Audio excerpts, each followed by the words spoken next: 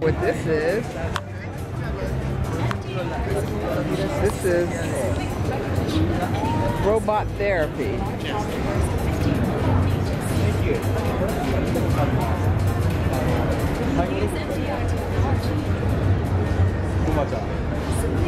Why don't you explain to me what this is about?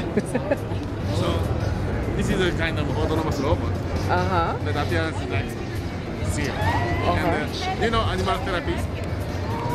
Do you know animal therapy? Do I know? An animal therapy. Oh, therapy? Yeah, animal therapy.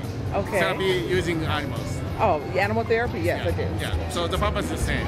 So Okay. what has been used for therapy at like children's hospital, Oh. nursing homes, some other places. Especially as for the dementia care, uh, Yeah. works very well. Yeah. So uh, people recover uh, their cognitive uh, kind of ability.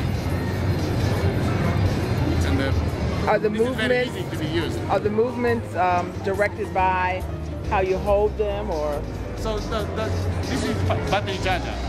okay? And uh, it's autonomous. So inside one has uh, many like processors. Those are really cute. I'll take a take a look. What do these cost? What's your price point? Uh, two hundred dollars per month for Okay. stations for leasing, Oh, okay. and uh, six thousand if they want to buy. So it's good for nursing homes and yeah.